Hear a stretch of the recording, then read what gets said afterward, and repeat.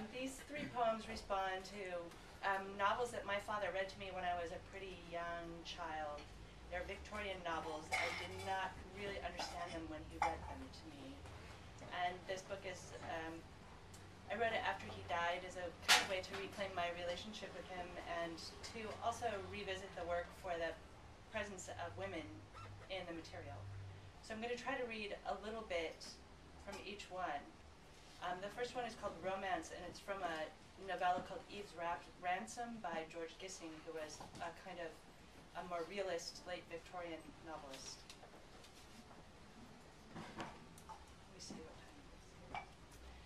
All life sets upon all life sets itself upon us like a dull, iron-colored grief. And the discipline is to realize that we haven't died yet. In the story, the protagonist has no basis for hope. In the story, the protagonist ends with a shout of joy, and we believe this exclamation.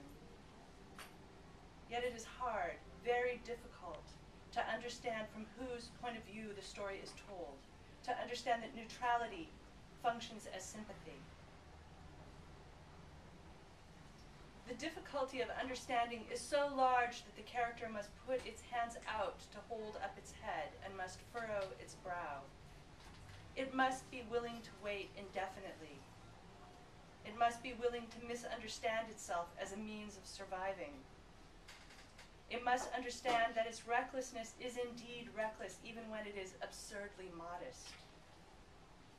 It must be able to turn itself into a different character entirely, and this trait or capability will become known as love. The romance is full of legacies, slight, often bitter inheritances. A beguiling photograph in the landlady's album, but no more specific than that. A chance meeting, meeting on the train platform where the debtor, flush with wealth, pays off his debt to the impoverished man. This sudden wealth this payment of debt is meant to humiliate the man to whom the money is owed. The countryside undulating with industrial waste. This life. And so the character resolves, and so the character says over and over, I am going to live. I am going to live. As though he were tutoring himself in an expression from a foreign language phrase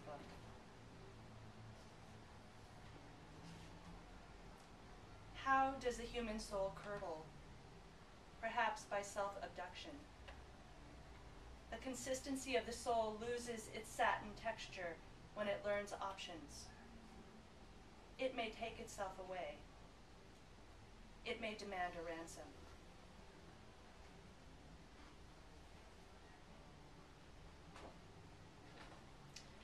Um, so now I'm going to read something from The Woman in White, which, if you have not read, you should read because it is the best novel I have ever read, and I've read it many times.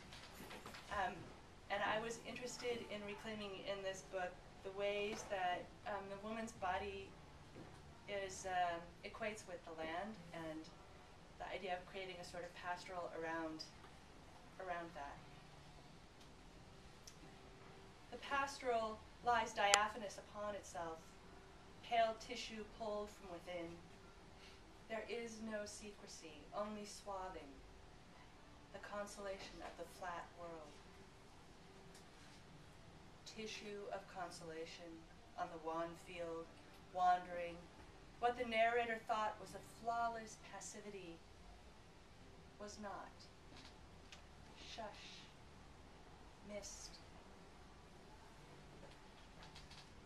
What the narrator supposed was perfect was the creature wrapped in its white fur, struggling soundlessly in the trap. Hence the field makes white snow to fall upon itself, blemishless.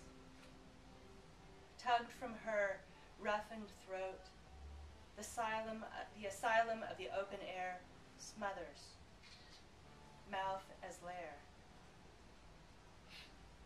the white words that came from that place rely no further victim on their flesh, a veil whose fine mesh hemmed them in. Terrain's flesh lovingly impounded, beautiful field, bastardy, these many forms of seizure. Once, and sighted again, hushed. The blanket crocheted itself over the sloping plain, and all was woolly and opaque, not to be perturbed. Hortense, sharp consonant, softened to omen, muffled. And here, then, the peculiar indirection, a simple cry, or relative wilderness.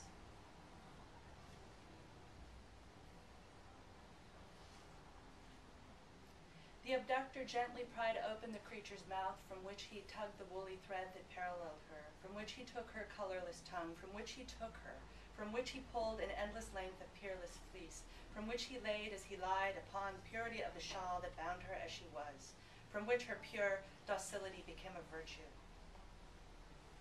Blushed, this organ of fidelity. Aches, white posing as tame. Culprit, captor, cataloger of passion cannot chase a circle. Love's catalyst hence is the crashing of layers, one impressing another. The object is scoured of defining char- characteristics, fugitive. We see her only from behind, and she is all alike doubling, all undone, her or her, white, membranous rind slips, burnt away. At once the creature's pelt embraces itself and all its kind. The land's grace incarcerates, redoubles itself. The forlorn figure turns toward and turns toward inkling, innocent imposture soft little animal, mild pelt it once wore. Diaphanous skeleton she lifts to ward off the several blows who constitute world, gown, endless downy lawn. And then I'll read just a few parts from the Moonstone. Decorum. One wishes the surface were as pleasant to the finger as it is to the eye. Perhaps one can never touch it. Perhaps one is touched too much. She was ugly. She was beautiful. Her appearance was altered. One shoulder was raised above another and made of her a freak, or her lovely lips were compressed and drained of color, always to be called lesser in a realm in which one's reason is continually partaken of and one's reason is ever modeled with skepticism, just as the surface is modeled with secrets. Look how the feminine bootprint leads to the shore and not back from it, how the landscape shimmies with this tide. Alas, the shore is soaked through and through with what one knows but does not tell, the courtesy of it as it turns to quicksand receptive, that is, to the weight of the visitor, blurring the footprint politely as it harries the rain.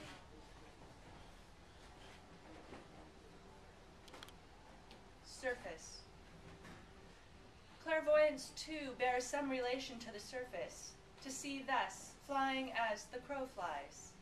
So one is enabled to make mere surface out of indisposition and arrive. One need not embroider the fabric, nor even sew its panels together, for the eye flies as a veil over the body, never immodest, but simply in true relation to truth. Each party pauses, moving away from the object of its desire, and so the terrain is clarified. Each narrator makes tensile the cordage that marks his or her terrain, and from above, the eye cannot help but note the pretty pattern that stands out in their overlap. It remains nonetheless a barren sight. Clairvoyance would appall the truth by refusing to keep its secrets. The eye flies over the naked body, yes, but sees only skin, sees the forms of travel, the formula partaken of by those who attempt to escape. Clairvoyance, then, as a sense of humor, its own map. That is, the ability to read the skin, its legend of flush and pallor, the true body, the one which, despite all its acumen, cannot get away. Sleepwalking. The idea is to reenact what you did, but cannot rec- recollect that you have done. The purpose is to walk over the very surface of sleep as Christ walked over the surface of the water, and all along, riptide and quicksand hissing through the windows. The physician promises a form of restitution, and this he offers by way of smoothing the text that covers the page. He does this with his own speculative interpolations. He offers that he will soon die, and so it is, and so is at liberty to experiment freely. Soon you will be walking in the dark, buoyant upon it. Soon you will relinquish the habits that consoled you. No matter that they filled your lungs, but the breath too is just a taste of the facade that fronts the atmosphere. The physician offers you a means of relinquishing the guilt that has been your enduring companion. To do so, you must once again smudge the white fabric of your shift, disrupt the paint that would have covered the threshold. Who is it that levitates over the tide as the Savior is reported to have done? Who dwindles in consciousness as though slumber's helium could lock the perpetrator over pain? The last, decorum.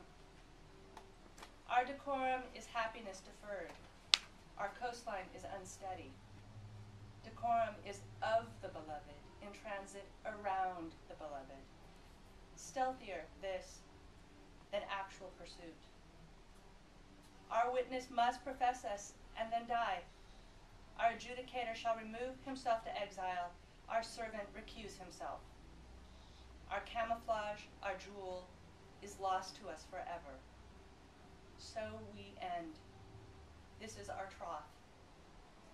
As the somnambulant gropes towards the site of loss, his beloved looks on in polite and silent bliss. Thank you.